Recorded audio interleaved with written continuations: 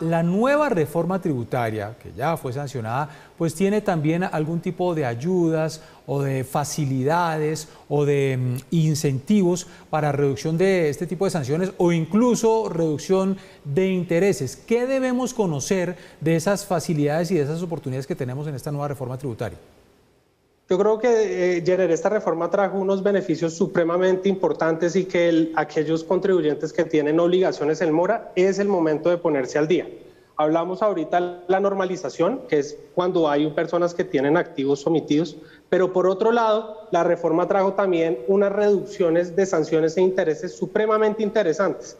Aquellas personas que hagan sus pagos de, de las obligaciones pendientes antes del 31 de diciembre y cumplan unos requisitos, van a poder reducir sus sanciones e intereses al 20%, lo cual les permite ponerse al día y, después del impacto que tuvo la pandemia, ponerse al día de una manera no tan, no tan cuantiosa.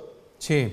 ¿Qué debo conocer o cómo hago yo? ¿A dónde recurro si no me he leído toda la reforma, si no, si no soy un especialista en el tema? ¿A dónde recurro?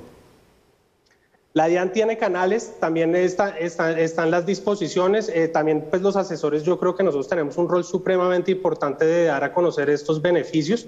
El, beneficio, los, los, beneficios los incorporó la última reforma, entonces yo les sugiero a los contribuyentes que tengan obligaciones en mora que, que lean la ley 2155-2021, especialmente tres artículos, Jenner eh, y yo sé que a veces uno se asusta con las disposiciones legales, pero, pero son tres normas que le pueden ayudar muchísimo si tiene obligaciones pendientes con la DIAN, que son los artículos 45, 46 y 47 de la última reforma.